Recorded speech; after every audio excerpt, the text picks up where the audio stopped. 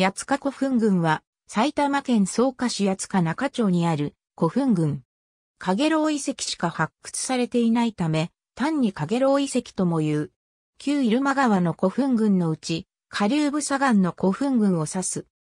新編武蔵風土気候などを根拠にかつては、複数の古墳が存在していたとされているが、1994年から1995年に行われた達井川の改修工事に伴う発掘調査で確認されているのは、影楼遺跡の影楼古墳一基のみである。八塚古墳群で唯一発掘された遺跡である。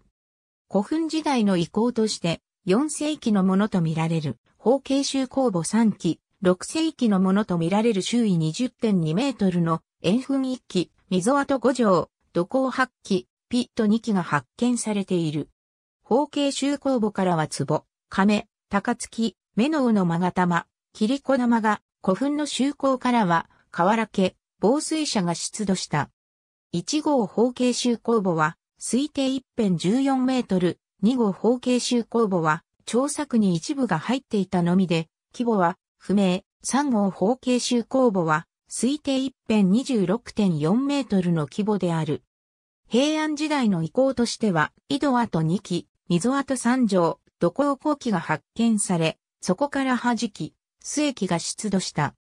中近世の遺構としては、井戸跡10基、掘立柱建物跡2棟、土工3基、溝跡14条、神社跡1箇所が発見され、井戸跡からすり鉢、石臼、板火、漆塗り碗、和毛物などの木製品が出土した。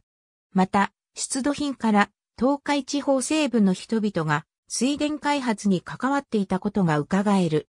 影楼遺跡全国遺跡報告総覧草加市市、編纂委員会、草加市市通社編上官、ピアニッシモ、167から168、1997年。ありがとうございます。